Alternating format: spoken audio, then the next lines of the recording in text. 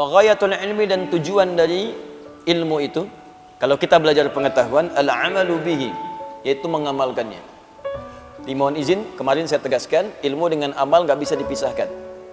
Justru ilmu itu akan mulai mendapatkan pahala melimpah ketika diamalkan. Anda belajar fikih sholat, kalau nggak pernah dipakai sholat, kapan datang pahalanya?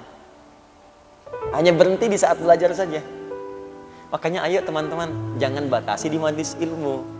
Anda yang kuliah pun niatkan sebagai ibadah karena Allah. Begitu Anda bekerja, itu jadi pahala. Pernah nggak kepikir ke situ? Yang kuliah di ITB, di IPB, di UI, di IAIN, di UIN, di mana pun. Coba niatkan sebagai ibadah.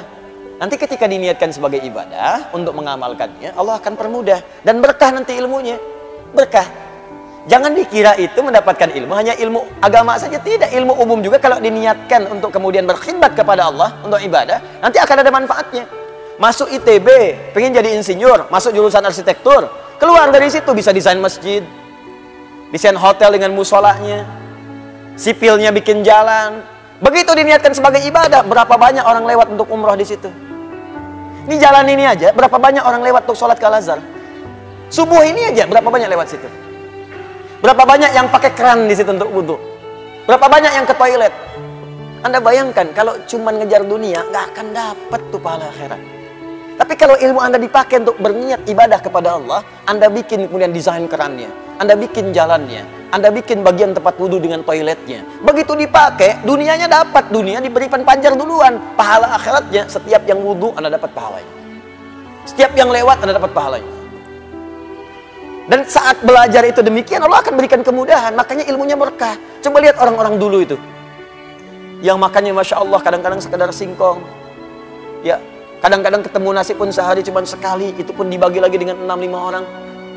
Tapi dahsyatnya ilmunya berkah. Saya kalau lihat orang dulu belajar bahasa aja jarang yang ada satu bahasa. Minimal dua. Bahasa Indonesia, bahasa Belanda. Never dong Misalnya, mana si pitung?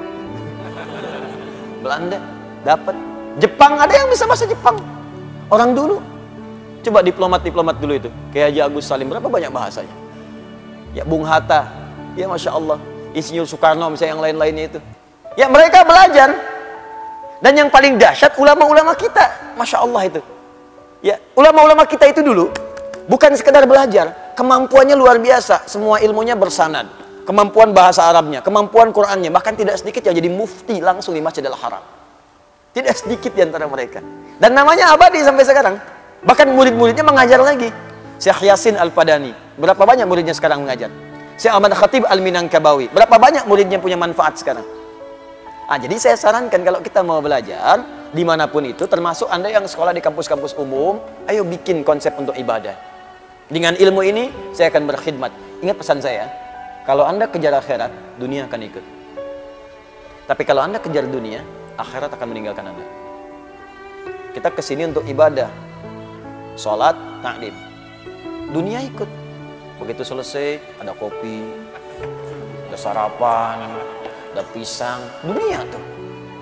Tapi kalau ke sini coba nyari pisang, akan dapat. Udah akhirat gak dapat, pisang gak kebagian. Oh, paling gak enak tuh. Akhirnya bikin status, ternyata di Al-Azhar nggak ada pisang. Ente ke sini mau cari pisang, mau cari ilmu. Hah? Jadi kalau kita nyari akhirat tuh ikut dunia semua. Saya sering katakan begini, rezeki itu udah diatur. Surga kita yang belum jelas.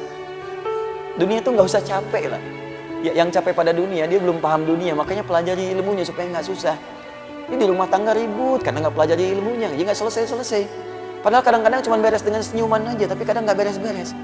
Kenapa? Karena ilmunya nggak dipelajari di bagian pertama ghayatul ilmi ala amalu bihi. Ya jadi mohon izin orang yang belajar itu tujuannya untuk diamalkan.